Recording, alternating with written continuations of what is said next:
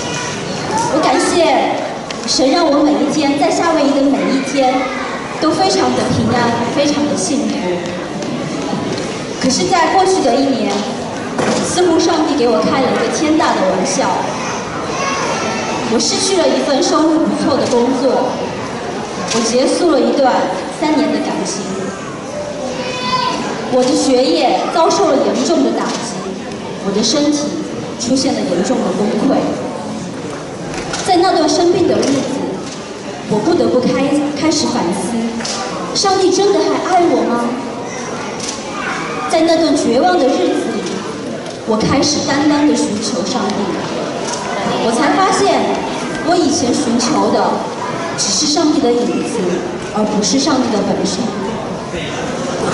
我寻求学业，可是我却不知道上帝是那万福之源。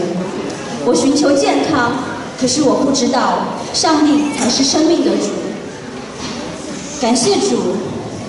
让我看到我自己的罪，让我看到我根本就不以神为神，只是为着那些祝福，而不是神本身。感谢主，让我看到只有通过耶稣基督，他才是生命、道路、真理。我想在这个时候对耶稣说一声，谢谢你。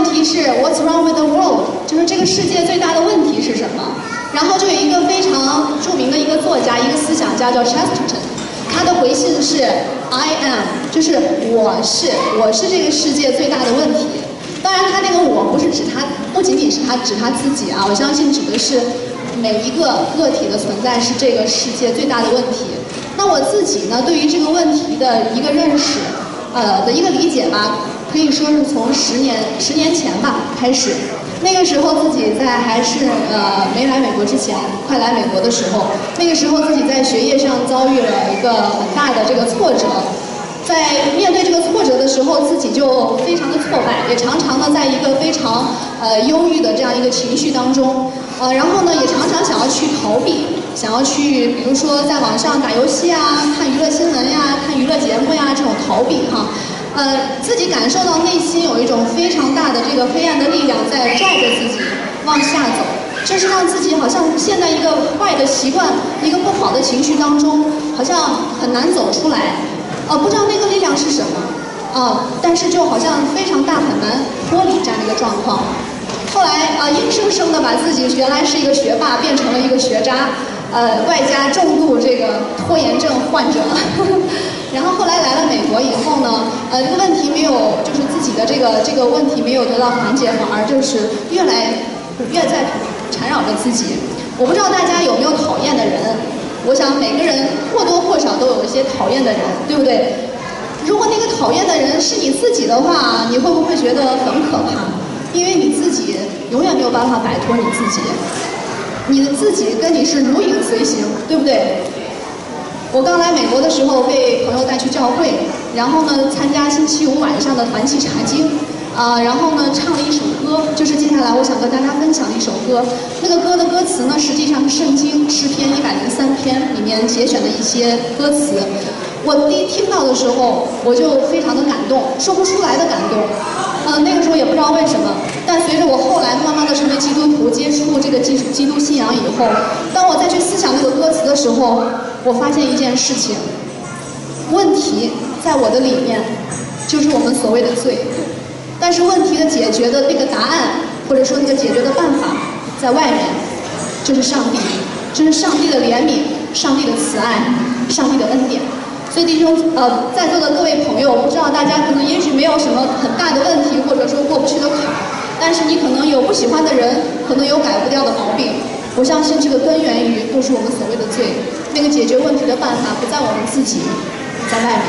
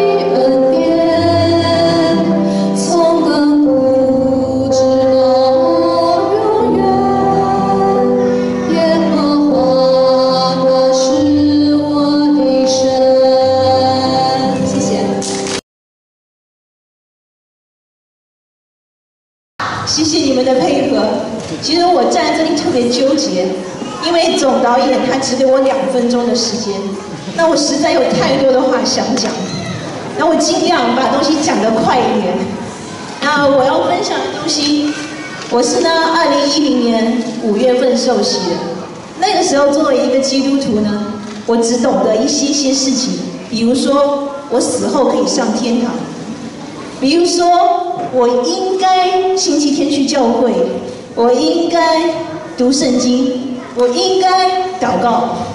但是其实当时我很清楚，我心中的第一位不是上帝，第二位也不是上帝，不晓得是第几位。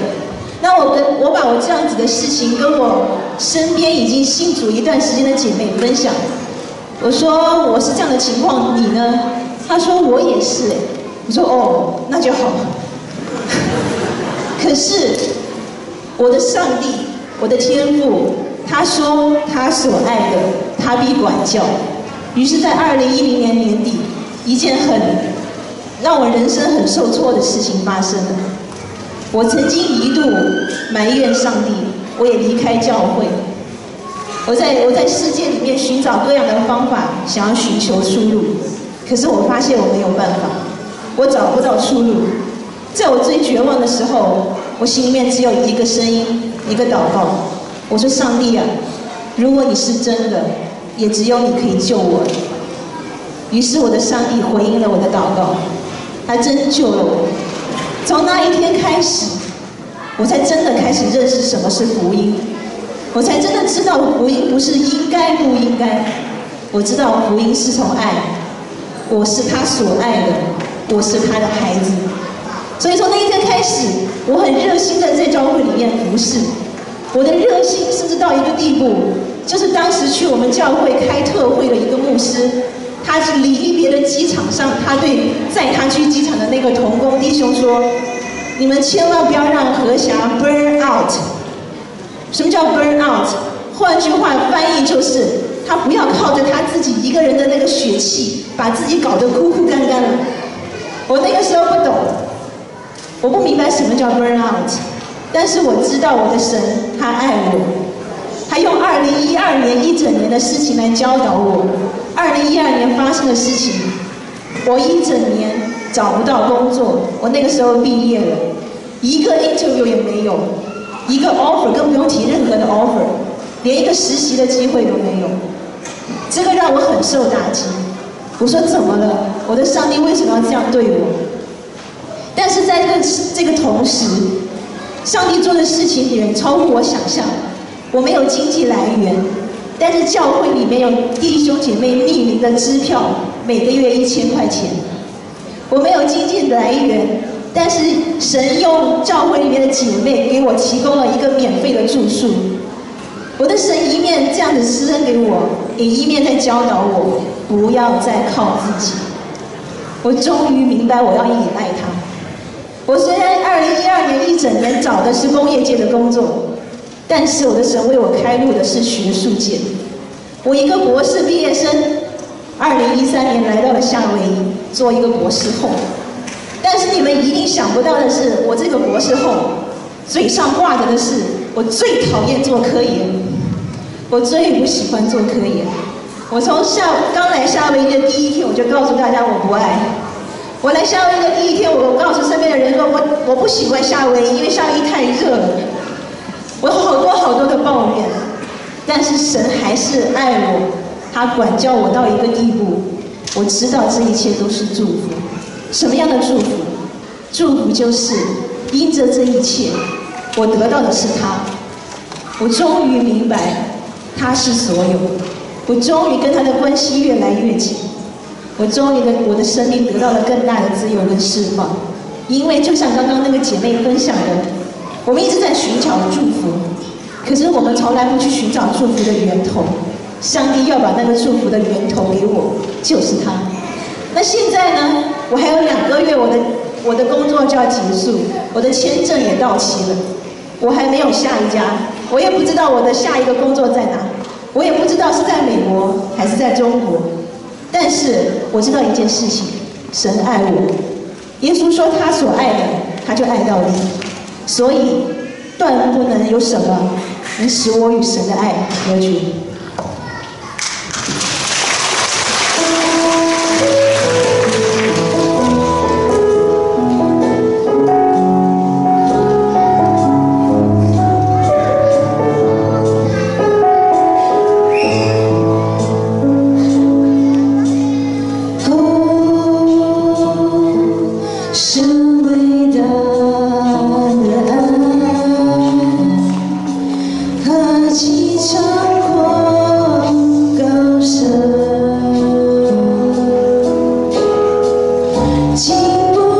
心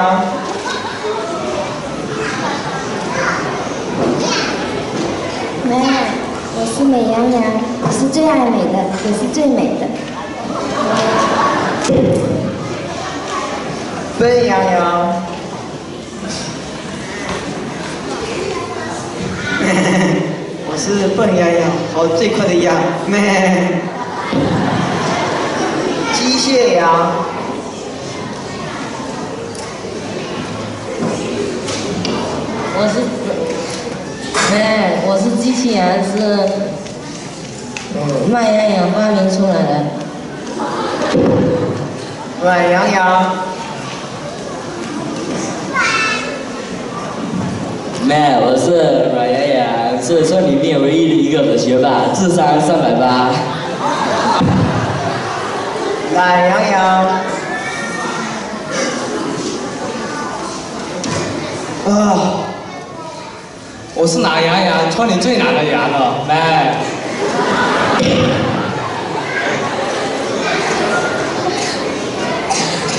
羊儿们放心吃草，我会呃不用担心大灰狼，我会好好看着你们的。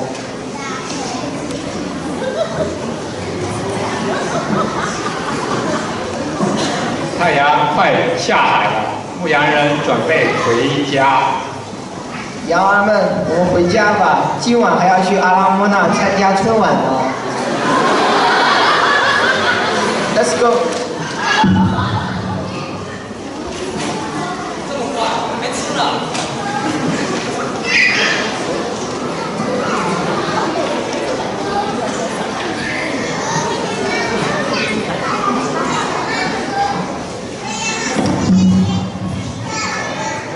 杨爸爸，杨妈妈，你们在哪里？牧羊人，你在哪里？我走丢了，快来找我！在哪？啊！别吃我！谁？别动！好的。好，哈哈！别吃我！我走后，下次。啊！走了，牧羊人就是牧羊人回家后发现少了一只羊，于是牧羊人就出去找那只迷失的羊。懒羊羊，天黑了，我们要回家了，你在哪儿啊？啊！牧羊人救我！好。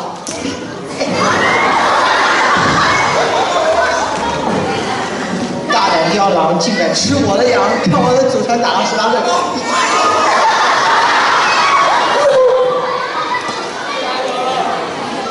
懒羊羊，安全了，有哥在，不用担心。我们回家吧。走不动。It's okay, let me carry you. 哇！这个很痛。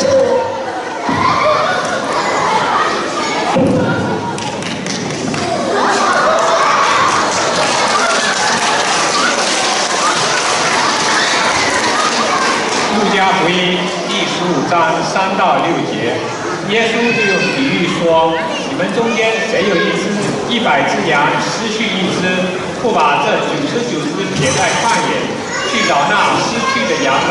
直到找着呢，找着了就欢欢喜喜扛在肩上回到家里，究竟怎有灵色来对他们说：“我失去的羊已经找着了，你们和我一同欢喜吧。”圣经就说：“我们世人都如羊走迷，个人偏行己路。”耶稣就是我们的牧羊人，他亲自来到世间寻找失散的人，让我们赶快跟随耶稣回到上帝的家。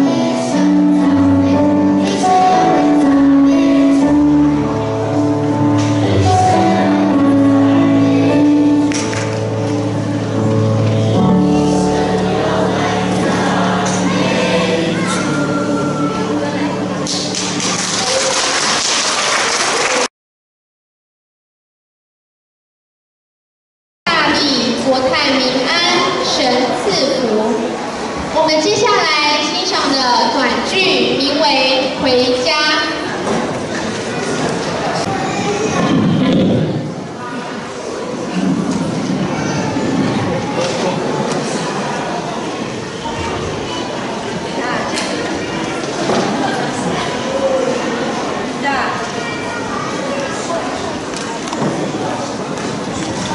大家好，我叫朱恩典，我给大家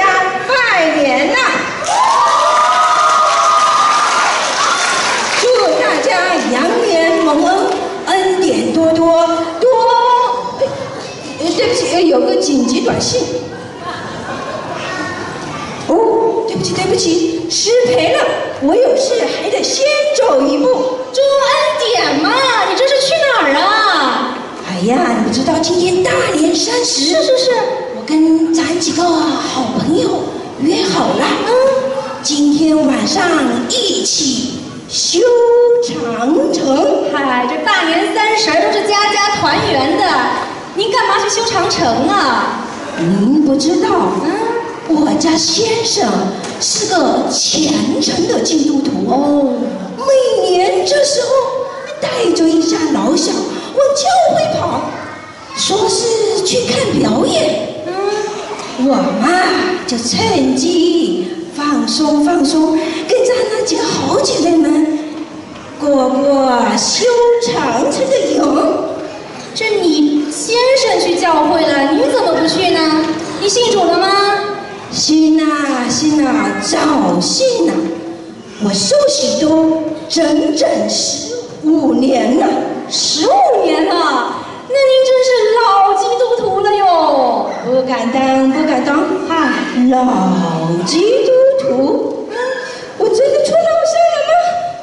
让我看一看，不是不是不是说您这个老，哎呦，头发开始白了，皱纹也开始出来了，哎呦，看来我得多花钱好好保养保养。哎，不过话又说回来，嗯嗯嗯，咱虽寿洗十五年，嗯，跟下面有些基督徒可不一样，怎么不一样？我是实用恩典派基督徒，实用恩典派。这福音派我听过，灵恩派我听过，实用恩典派我还真是头一次听说。您给大伙说说。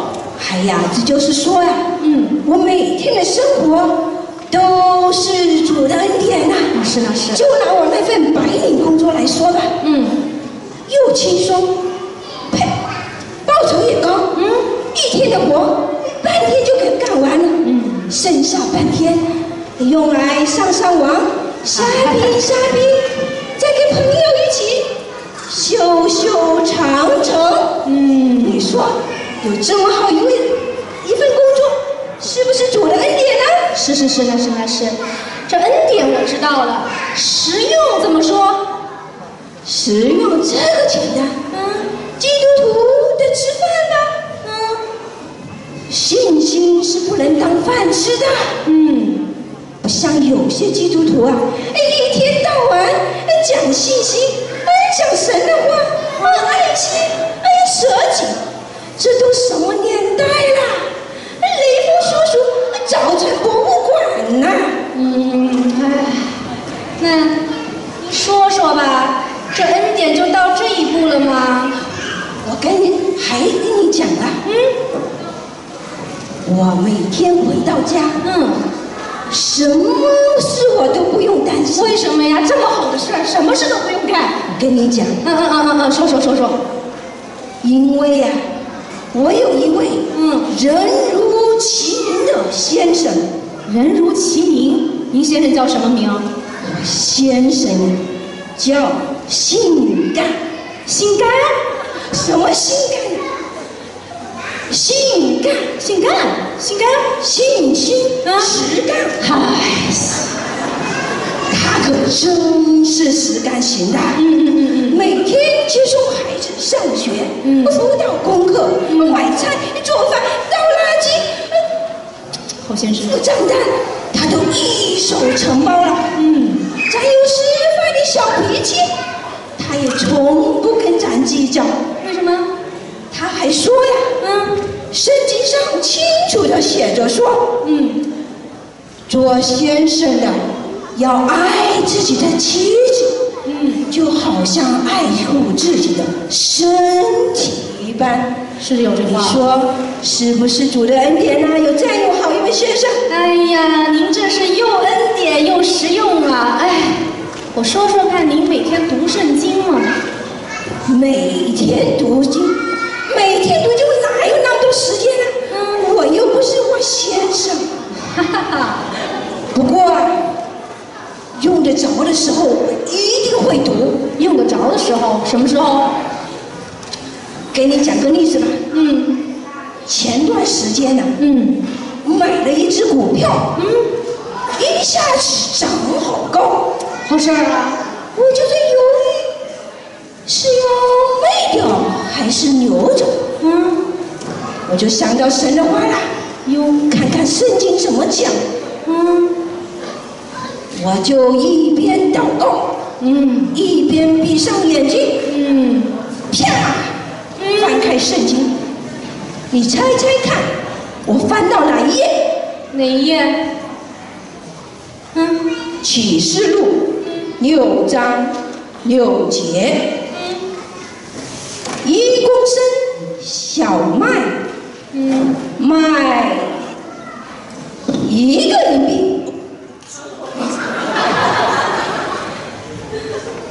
个银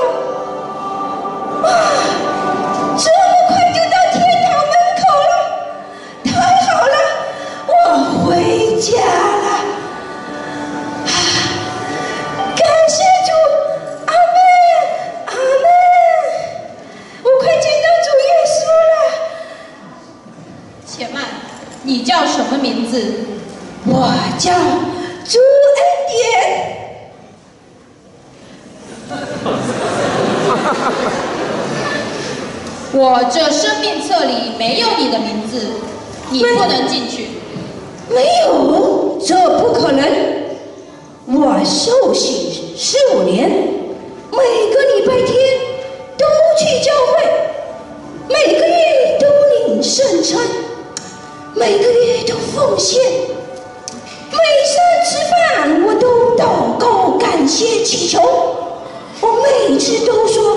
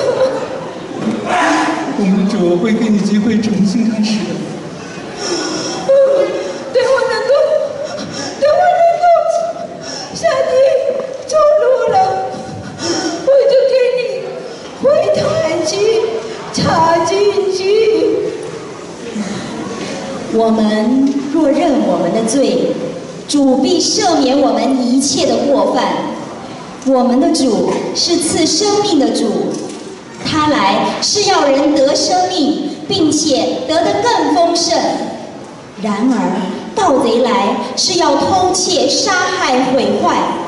有很多时候，我们自己稍微放松一点点，仇敌就会趁虚而入，满足我们的肉体，让我们的生命一天天的被消耗在那些没有永恒意义的事情上。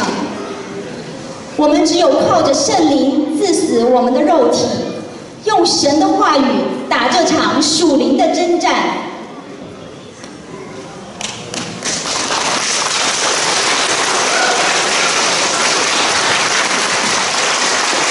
朋友们、弟兄姐妹们，让我们把神的话藏在心心里，让他的话成为我们脚前的灯，路上的光。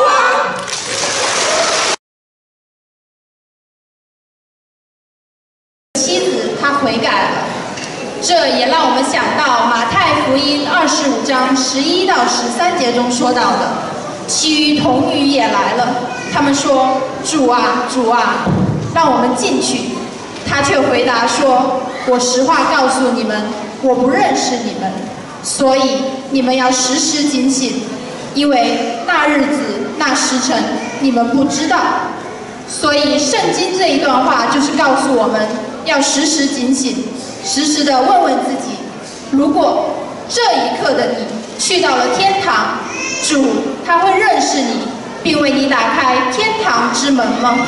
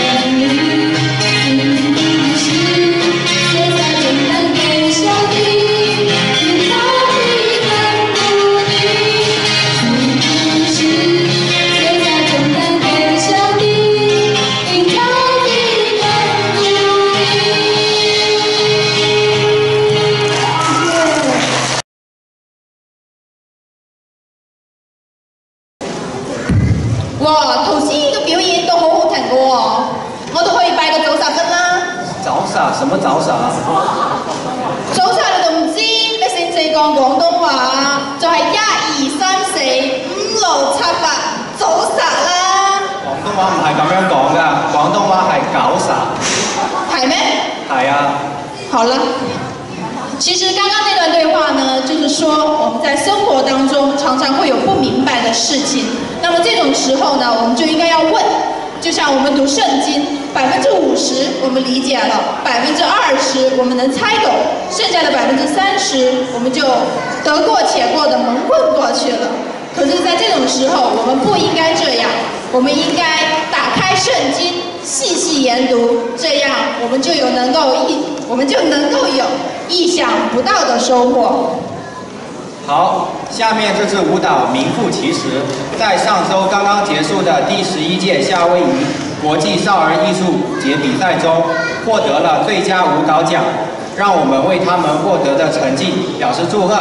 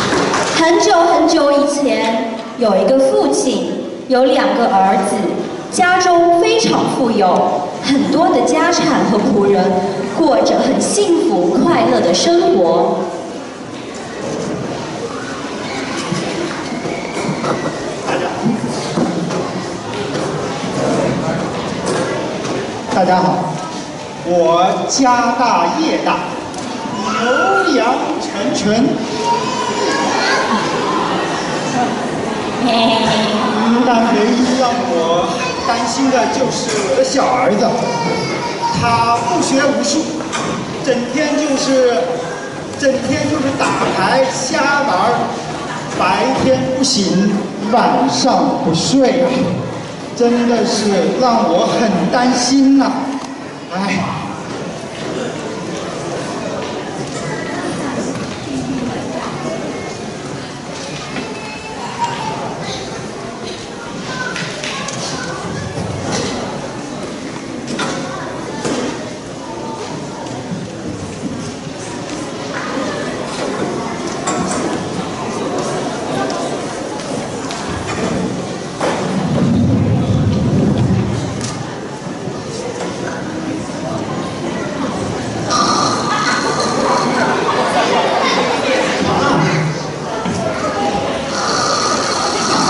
别吵，别吵。嗯。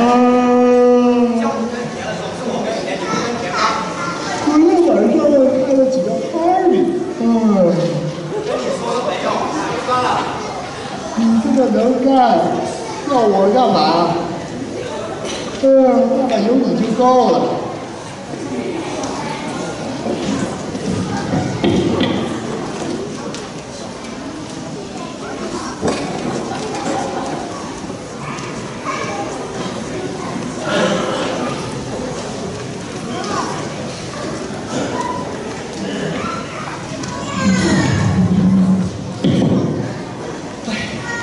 最近比较烦，比较烦，比较烦，总觉得日子过得有一些平淡。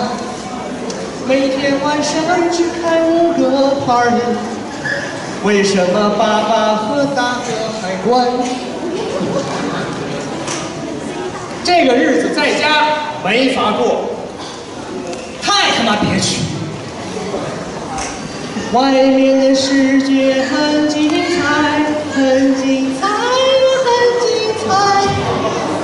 我想开多少 party 就开多少 party，不用听他们唠唠叨。我爸常说，男儿志在四方，我要出去闯天下，实现我的价值。可是我能干什么呢？做工人吧，教书吧，没脑子；做生意吧，没资本。资本，我爸有钱。对了，我这就去找我爸，跟他分一些他的家产，去去就来。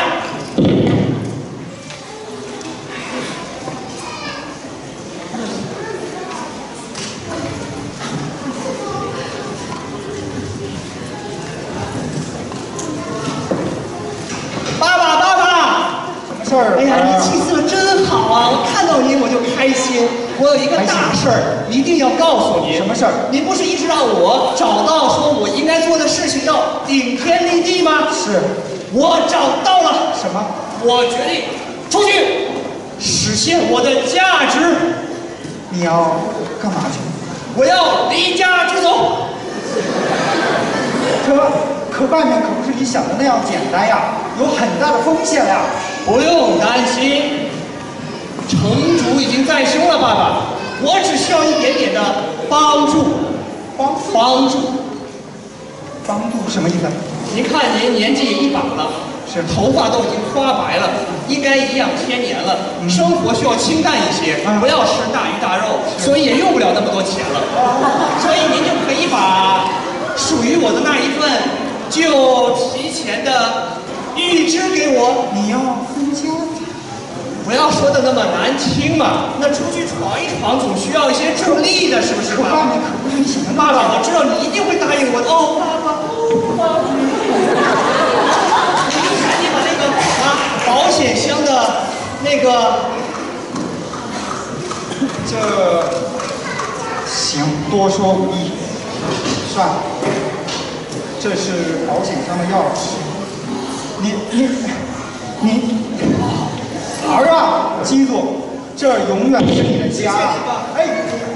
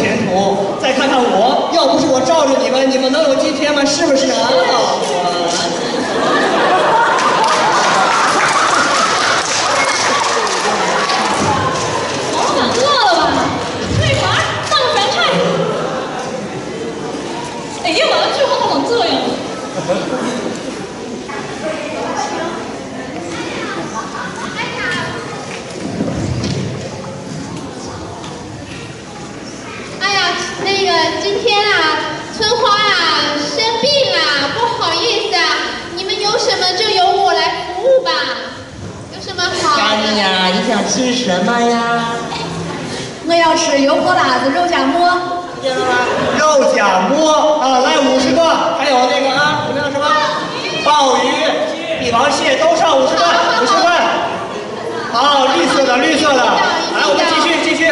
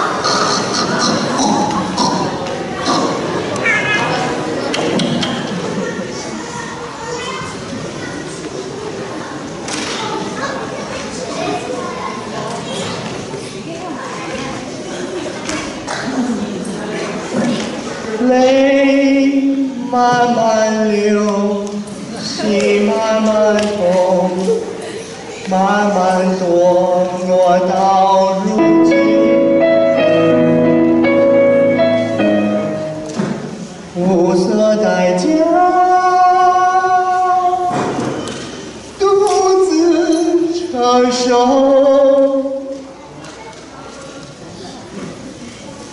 自由。不能给。不能够。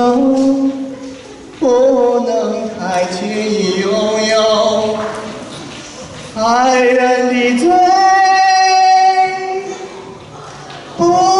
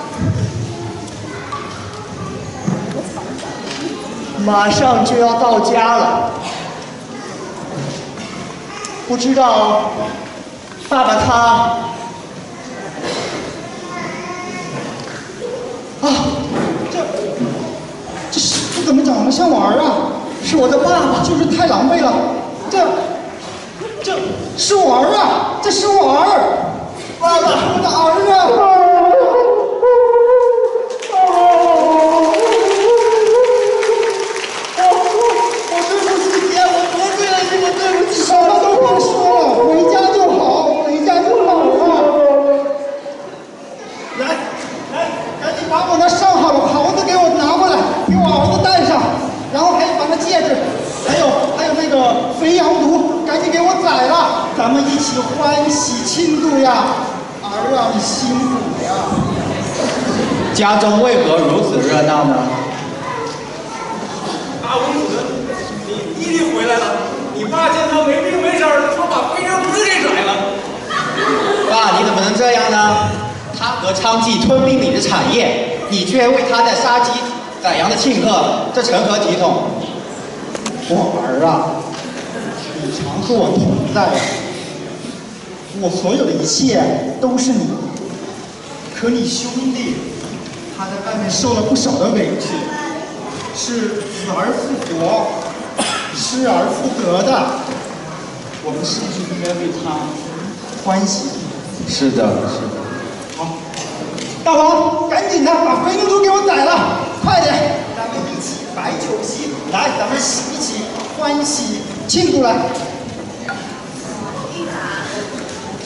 我们很多人都曾经是浪子，固执地离开了天父慈爱的怀抱，投奔世俗世界。然而，我们的天父上帝就像这位老父亲一样，上帝的目光一直注视着我们，他的手一直牵引着我们，他一直在等待着我们回转。浪子回头。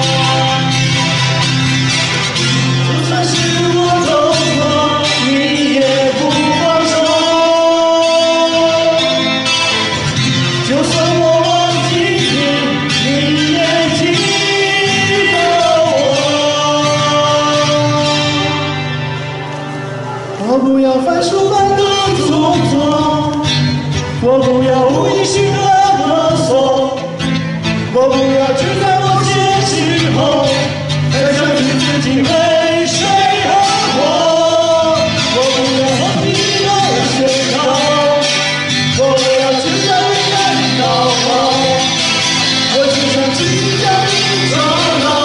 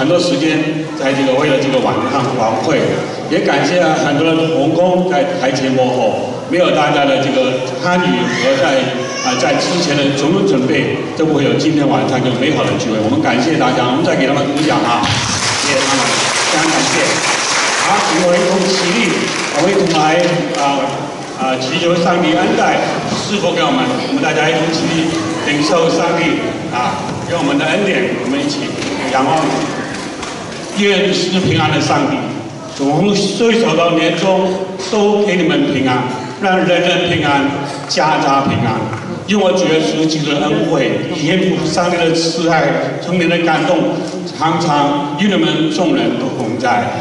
阿门。